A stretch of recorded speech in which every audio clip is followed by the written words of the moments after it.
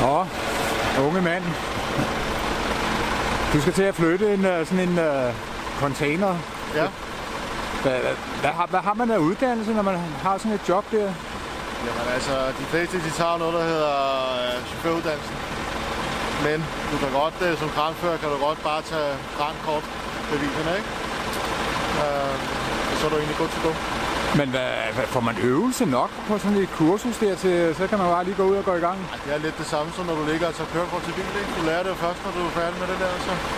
Hvad, laver man mange ulykker, inden man bliver rigtig god? det kommer an på, hvem man er. Øh, jeg har ikke... Øh, jeg er ikke en af dem. Men hvad er det her? Er det en af de lettere opgaver, du er på nu? Ja, det vil jeg også sige. Det er ikke, der er ikke rigtig så meget ben i det her. Vi skal kun lige under de der luftledninger der, så, øh, så øh, ja, så er det sgu bare det. Ja, nu har I været ude og sætte øh, sådan nogle parkering for busskilt op i forvejen, men det er jo ikke alle, der er lige flinke til at så flytte bilen. Nej, men det er derfor, at han, øh, han vælger simpelthen bare at spærre hele vejen af. Jeg tror, de har tilladelse til det, må de have. Jo, men der er jo mange her, der holder, hvor de ellers I har bedt over at lade være. Ja, det kommer man tit ud for. Jamen, er I så nogensinde ude for, at I skal bede politiet eller nogen andre om at flytte det gør, det gør vi tit op.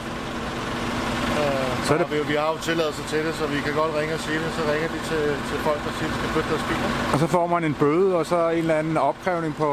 Det kunne de godt risikere, men hvis politiet de ringer bare til dem, og så kommer de oftest ud og flytter deres biler.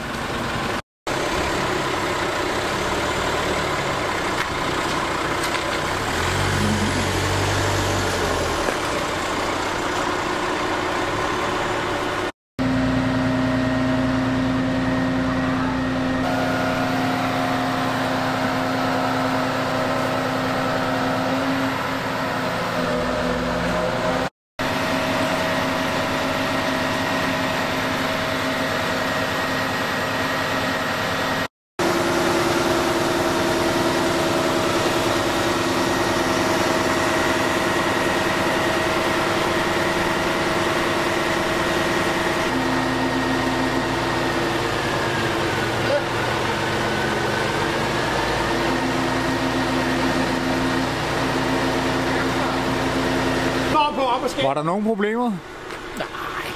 Nej. Noget vi ikke kunne løse, vel? Nej, men ja, der var der lige noget med nogle kabler. Ja, der er altid lidt problemer med de luftledninger herinde, ikke? Er det specielt for København? Sådan er det jo. Er det specielt for København? Store byer i hvert fald, ikke? Men det er også noget gammelt princip. De kunne have lavet en, øh, en, på en mast i stedet for, der stod. Altså, du behøver ikke hænge det op i luften, de der lamper. Nej, præcis. Man kan bare sætte nogle, øh, eller... Ja.